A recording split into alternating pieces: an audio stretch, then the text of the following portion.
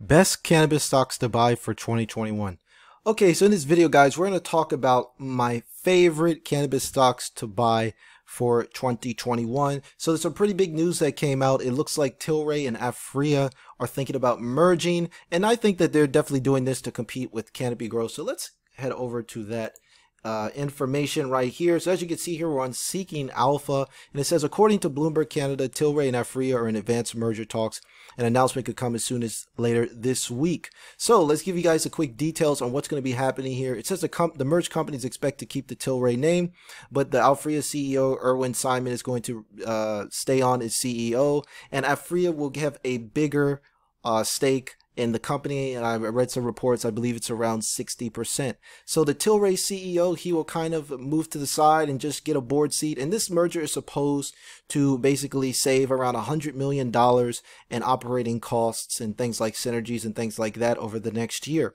But probably the most eye-opening thing is that Tilray is thinking about moving its headquarters to the United States. And that's definitely a bullish sign for, I think, just the U.S. federalization, federalization uh, laws in general since the House since recently uh, signed the MORE Act. It's basically going to the Senate, and if the Senate uh, basically agrees on it and passes it, then it could be signed into law by Joe Biden. So we could see legalized cannabis in 2021. We don't know for sure. There's a lot of um, kind of multiple sources have said it's going to have trouble getting passed in the Senate, but we all know that basically Biden winning the uh, the election was extremely bullish for cannabis stocks. Uh, Joe Biden seems to be much more supportive of cannabis legalization and decriminalization than Donald Trump will ever be. So now what I want to do is I want to talk about my favorite cannabis stocks to buy next year. And to do this, guys, we're going to simply break them down uh, kind of on an apples to apples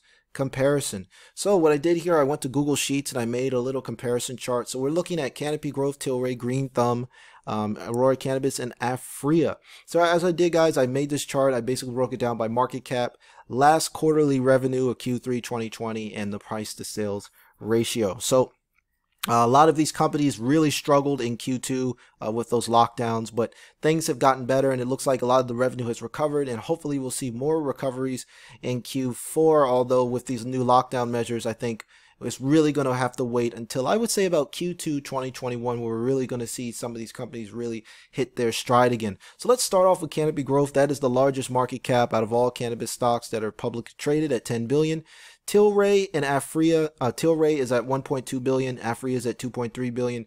If they combine, that'll be very interesting to see, and I'm guessing that market cap will be just north over 3 billion. Green Thumb is one of the OTC stocks in the group. It's the only OTC stock in the group, so over the counter shares.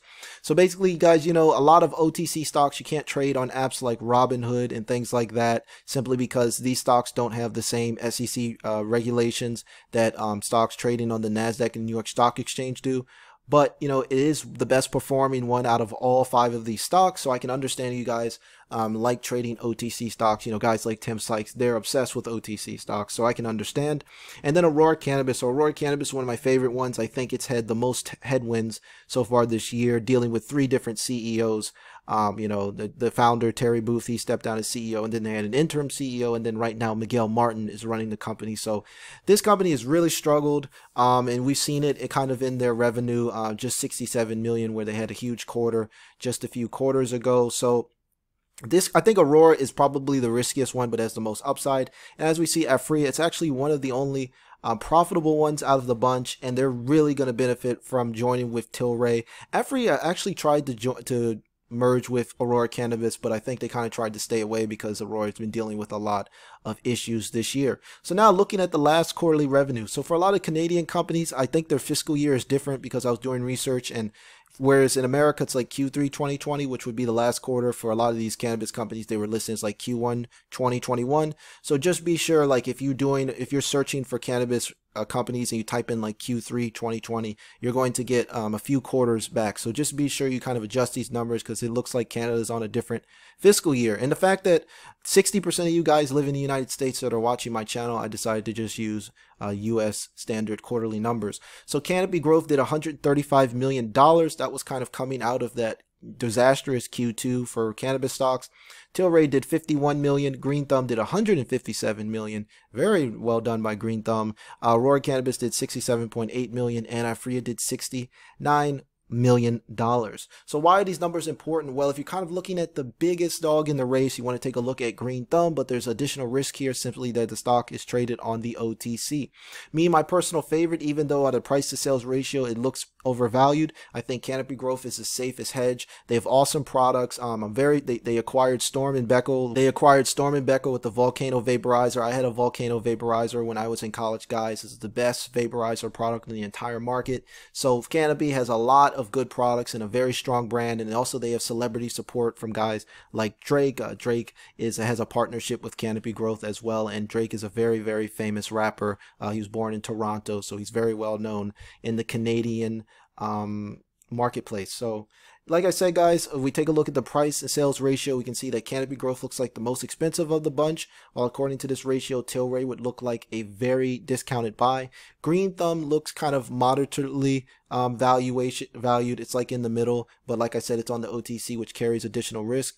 And Aurora Cannabis, I think, has the most um, upside out of all the bunch. It's the most beaten down of these stocks simply because they've had a lot of um, executive issues with the CEO turnover and a founder stepping down from the company uh, is really not a good sign. And the funny thing is, is that their founder actually stepped down and joined the board of directors on another company. So that's definitely going to shy investors away.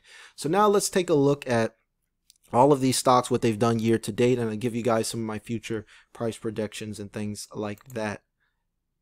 So as we take a look here, first thing I like to do when I'm looking at any company is I want to see what it's done year to date. As you know, guys, the S&P 500 is usually the benchmark, and the S&P 500 uh, this year is done around 17%. So let's take a look at how some of these stocks have compared to the S&P 500. So Green Thumb is the big winner of the bunch. It's up 136%. Uh, second is Aphria, which is at 62% year to date. Um, and then we look at Canopy Growth, which is up 32%.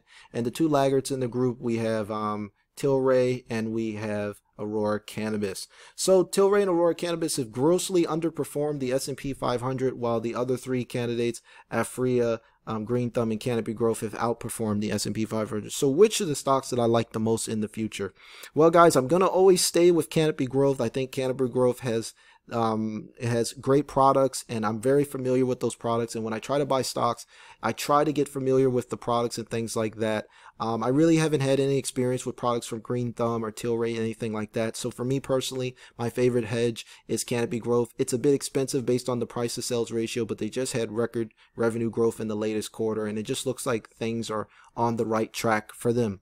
My second favorite pick, I think if this Tilray Aphria merger uh, comes through. Tilray will be competing with with Canopy Growth for the largest uh, cannabis producer in Canada. So I really like Tilray.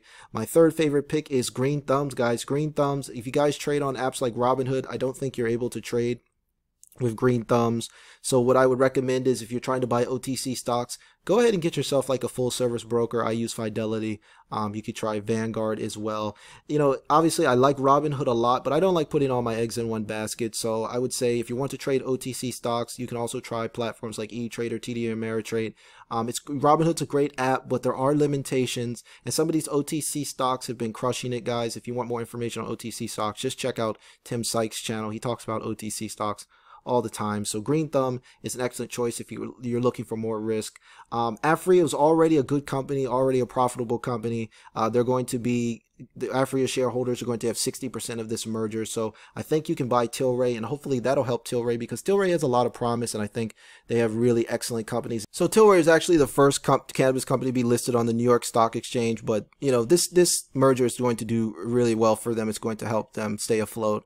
And um, Aphria has already got a great business model and they're only one of the few profitable cannabis companies out there. So I really like uh, this merger. And then I would say the riskiest one is Aurora Cannabis, guys. So I know Aurora Cannabis, I've been talking about Aurora Cannabis lately on my channel, and I think it has a lot of upside. And I'm not really interested in their recreational market. I think that Aurora Cannabis has been cannibalizing their margins, trying to lower their prices to compete with um, other kind of, you know, non-licensed sellers, uh, aka street sellers and things like that.